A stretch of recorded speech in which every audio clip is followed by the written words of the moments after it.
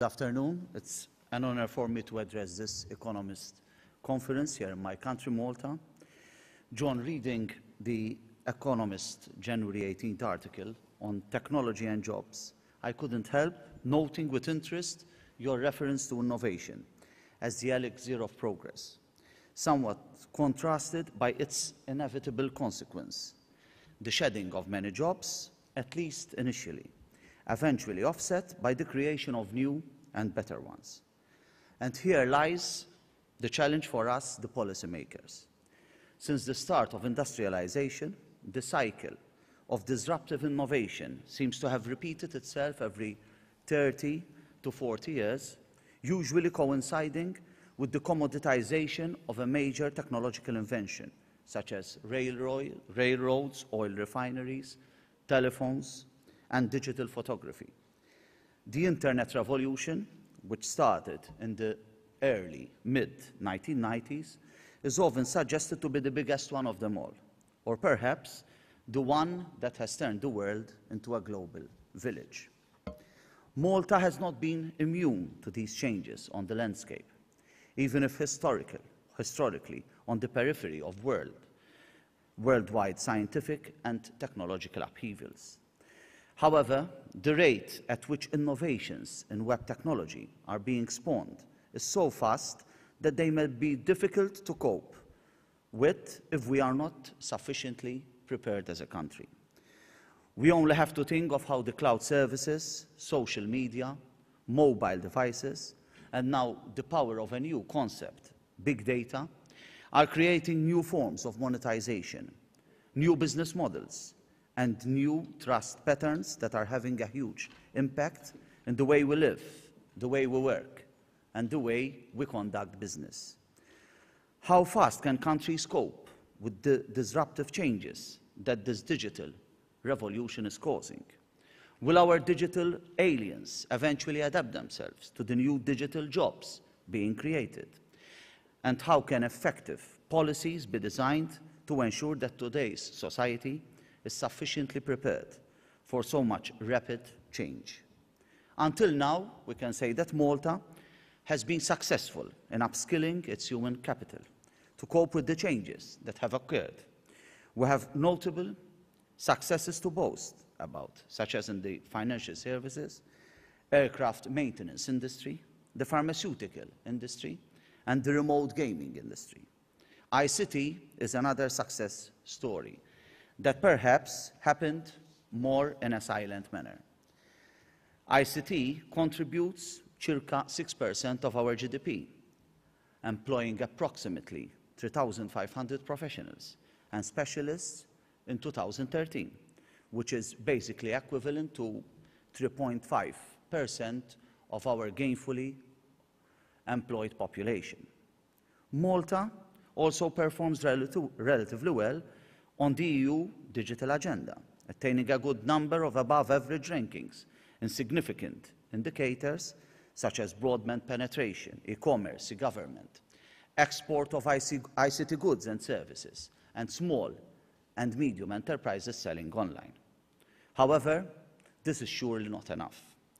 In spite of Malta's strength and aptitude in information and communication technology and its growing role in our economy, take-up of ICT is not as wide and consistent as it should be. There still are many contrasts. It has been high in sectors such as banking, finance, insurance, and remote gaming, where investments were forthcoming, or in the services industries, where the economic benefits for business were evident, or among home users with the capability and financial means to do so. But there are still many areas where the smart take-up, the smart take-up of ICT is somewhat lacking. And perhaps where there is plenty room for more innovation and economic growth.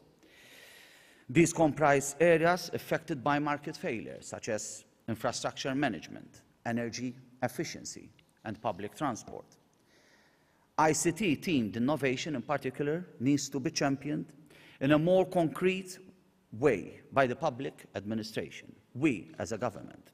If we want to give real value to citizens and businesses, we must take it, make it easy for them to interact with government by reducing bureaucracy, adopting the once only principle, and facilitating the use of public data which is not sensitive or confidential. Research has amply shown that it is, that it is social and cultural conditioning, not cognitive differences between genders, that prompts less females to choose STEM subjects. It is therefore no longer justifiable that only one in three computing graduates in Malta is female. The country cannot afford to lose out on the creative capital that women can contribute to society. Our vision as a government is, therefore that ICT is not just an infrastructure, it's not just an enabling tool. It is an empowering means through which every Maltese, irrespective of age, gender, education, ability, economic means, or race, should grow as a digital citizen with rights, responsibilities, and, ab and abilities to use ICT. If ICT is a smart driver of innovation in an enterprise business, ICT must equally be a smart means of empowering our citizens, improving their quality of life, their, their chances of success, their well-being, and their innovativeness in a world that is moving ever so fast. Malta's small and medium enterprises too will have a greater chance of success if powered by ICT. This goes well beyond just having a website or buying and selling online. SMEs must be encouraged and supported through special schemes to embrace the smart application of web technologies, to internationalize, innovate, and transform themselves into digital enterprises. As Mr. John Sigrek uh, just mentioned in the previous session, the world needs more action than words. The new digital Malta strategy for 2014-2020 that will be launched by the Prime Minister in the coming days will be therefore the start of an exciting journey for our country to attain this vision, Digital Malta. It is a strategy that has been built together with the stakeholders, including the private stakeholders, that will empower the economy and society by setting a vision that hopes to transport Malta, to transform Malta into a digital enabled nation. Importantly, it is not just a document which gives national policy direction. It is not just words.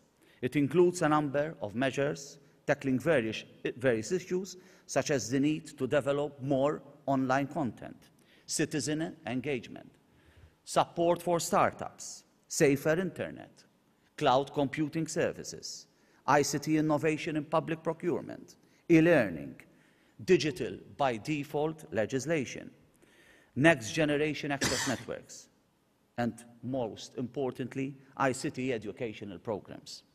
Designed in the form of a framework the strategy is above all pragmatic and factors in sufficient flexibility to allow us policymakers, business leaders and entrepreneurs to take decisions in the knowledge that they will be supported by us policymakers. That is responsive, responsive to the technological advances and challenges of the future. To conclude, we are doing this in the belief as a government that in a world where everything is changing so fast, by embedding an innovative mindset in everything we do, it gives us a long-lasting competitive advantage that will also be of great benefit to anyone who wants to be part of this journey. A big thank you for your attention.